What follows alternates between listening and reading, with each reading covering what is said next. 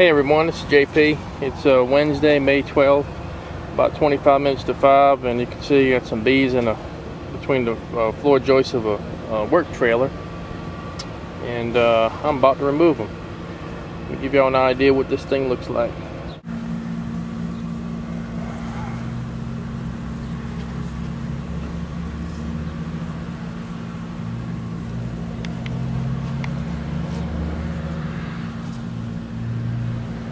They look like they've been here about maybe eh, three weeks, a month, maybe top.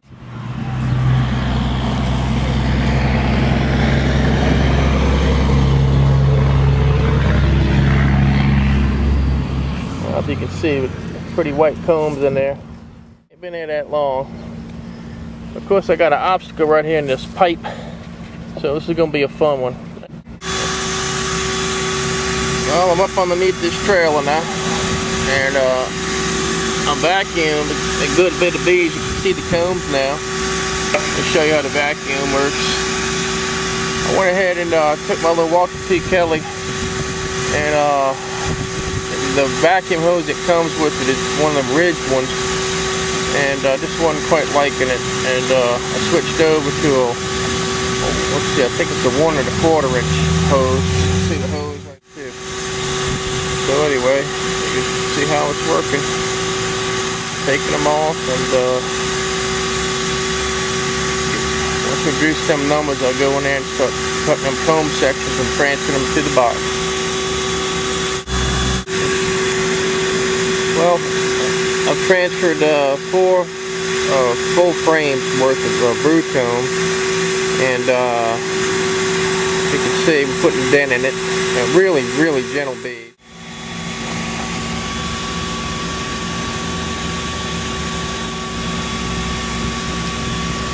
Folks, I'd rather be lucky than good any day. As you can see right here, the queen is on this little piece of uh, tarpaulin or whatever that was up underneath this trailer. Let's try to zoom in a little bit. I didn't put her there some kind of way. She must have been on the, probably she was on that last piece of comb that I transferred. I kind of bumped it because, as you can see, I have to, um, let me zoom back. I'm working up underneath this pipe.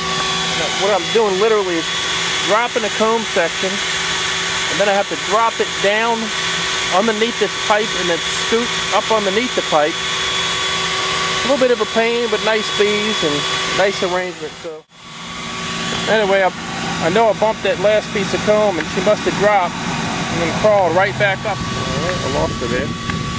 Okay. Zoom in a little bit. You'll see that they're grooming her. See her? She's a beauty, isn't she? Alright, so there she is. I'm to go ahead and I'm to catch her and, and uh, go ahead and put her in the box. And then uh, it's all she wrote from there. And uh, right now I have, uh, excuse me. I got uh, one, two, three, four, five, six, seven uh, brood sections. Now these I'm using a deep right here, but be honest with you, I really wish I had a medium today and kick myself because uh, these comb sections are tailor-made for mediums. Let me show you one of them. I mean, they would just fit. They wouldn't probably wouldn't quite fit, but they're pretty pretty darn close. See, a good many of them are just like that. So anyway, you can see them in there.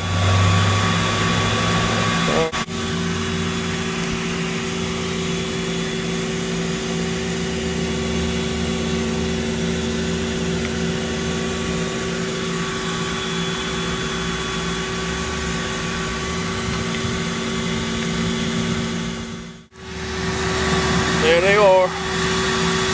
Orient to the box, so we'll get that last little piece out and we'll be done here. Alright folks, so this is the deal. We uh, got this cutout done in about uh, two and a half hours. And um, I got all the brood in the box, the queen's in the box. I didn't cage her because she's big, fat, plump. And um, everybody's happy to be in there. And these are the remaining bees which ain't a whole bunch and they're orienting on the on the box and uh, uh, we probably about maybe 15 minutes before dark so I'll give them some more time Alright, there we go. Alright. This is that same removal. Uh, Wednesday, May 12th. I just wanted to show you guys.